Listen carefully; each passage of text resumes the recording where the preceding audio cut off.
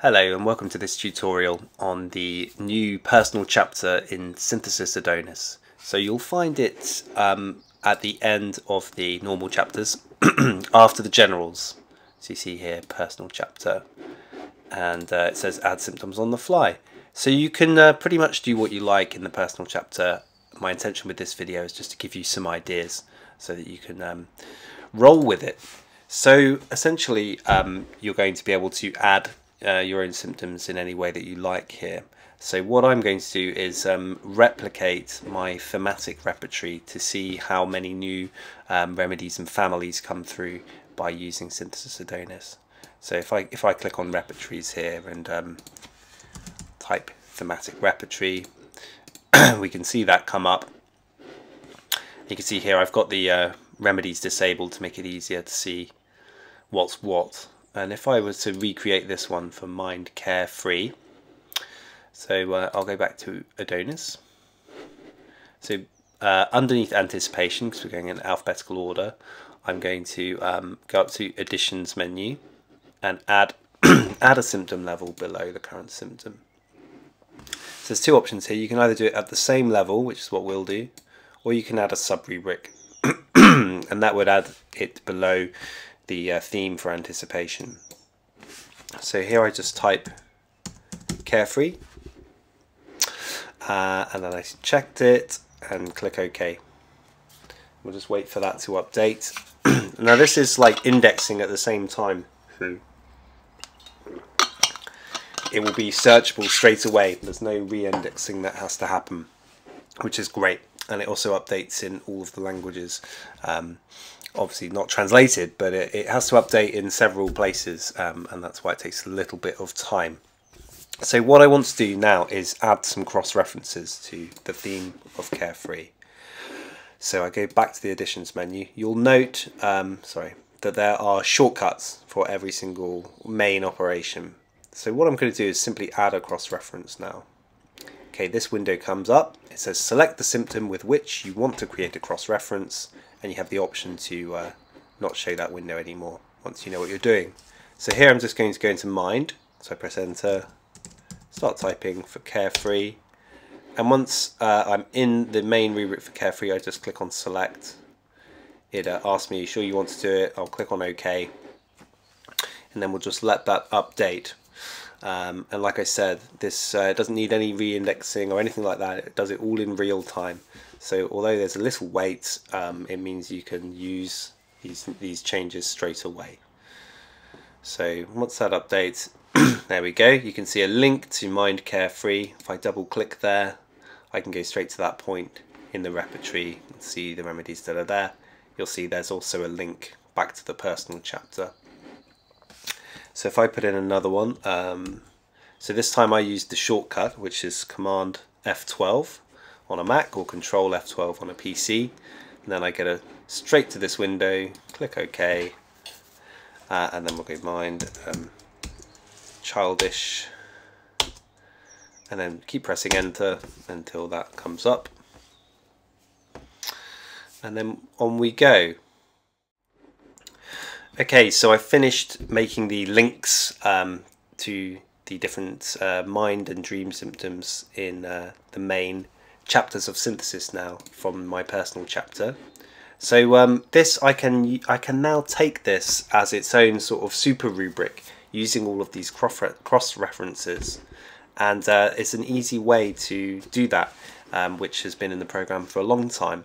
Now there's various ways you can do it. F6 is the quickest if you um, remember the shortcut but um, from the take button that you see here you click on the drop down arrow and then take and specify the options. You see there F6. So here, where it says also take, I click cross references and then with all rubrics merged into one, use all remedies. Take. Now I get one super rubric relating to everything carefree. And those are my remedies and families that come up. So we can compare that. 322 now in Adonis. And when I made the thematic repertory, I was using Treasure Edition and my own editions. So yeah, a vast increase really in the number of um, remedy editions there.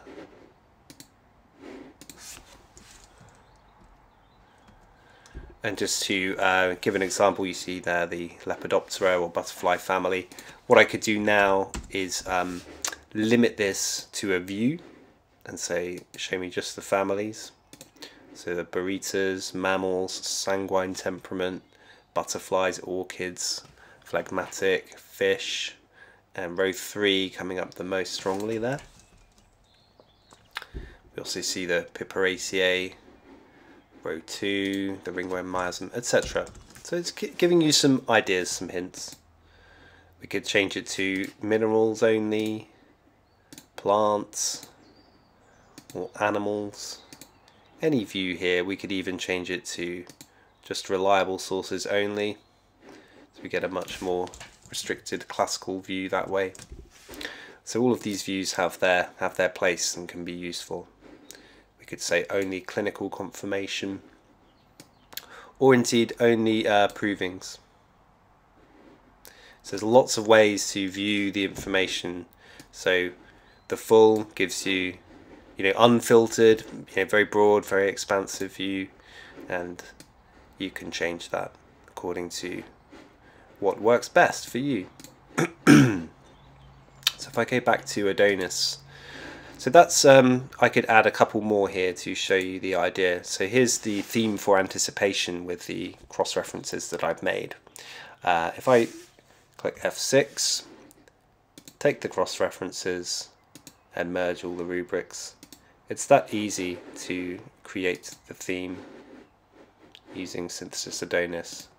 And I can see now a more standard looking repertorization and of course I could easily add um, a general symptom or a, you know particular to that.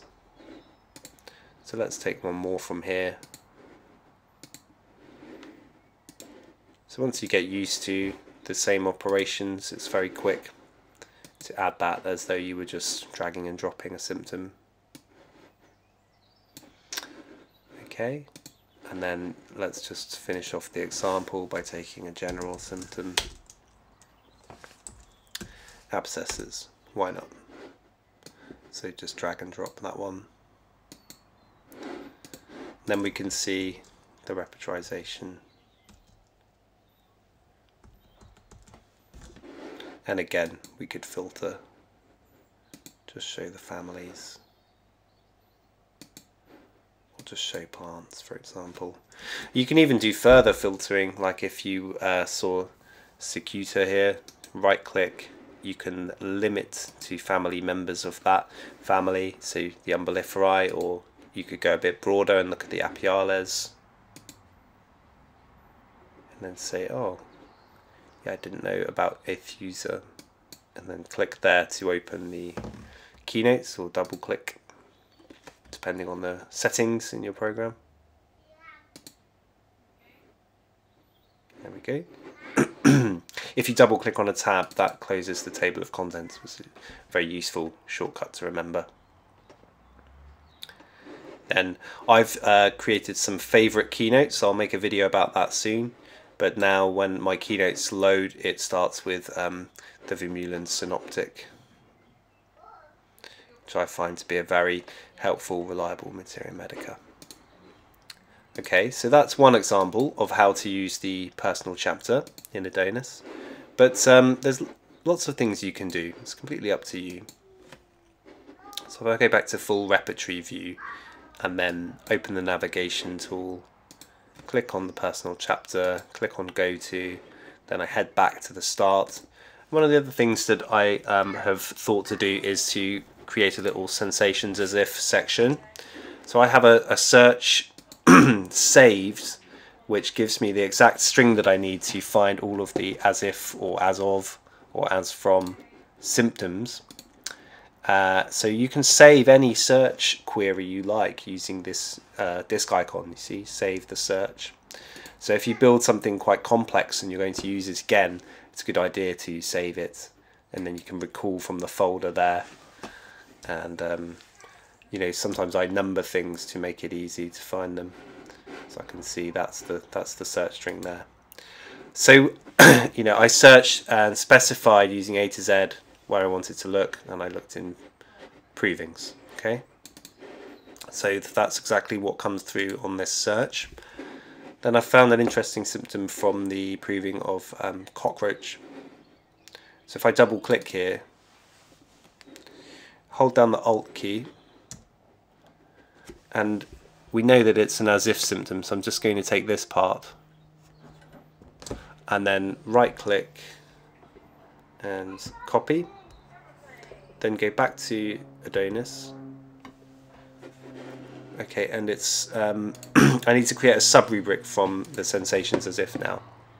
So I click here sorry go to the top click on additions and command F10 is the shortcut add a symptom level and I'm going to add it as a sub rubric and then I'm going to do paste and then check and then OK. So I've not followed the um, synthesis symptom format here because I'm in the personal chapter and I'm doing a sensations as if style thing where I want to keep you know the proving language as it is uh, you know remain faithful to it so that's the option you have when you're using the um, personal chapter like that. So what I'll do now is create a link back to the proving itself. So I click on the proving and then from here I would use com uh, command F7 or I can right click and go to additions. In fact what I'll do is click on the additions top menu click on F7 which is add a remedy including source information then it says do you want to add Blatta? Shows me the symptom to synthesis. And I'll say yes. It opens synthesis for me. Then I just have to head back up here click on additions, click on F7, and then it's going to add that remedy for me with a link back to the Materia Medica. And that's a nice way that you can build up um, some sensations into synthesis. Or you, you know, like the idea with the personal chapter is that you can do whatever you want, and this is just one idea um, and a nice thing you can do. So there we see Blatta, the link back to the proving here, if I click there, I'll go back to the proving and that's it. So just to show you how it's already indexed, uh, if I now um, open a search window, clear that search, search for Blatta orientalis. So the last place I selected was proving, so I'll change that to all open repertories. Open synthesis, if I scroll down to the bottom here, there you can see already the symptoms there in the personal chapter.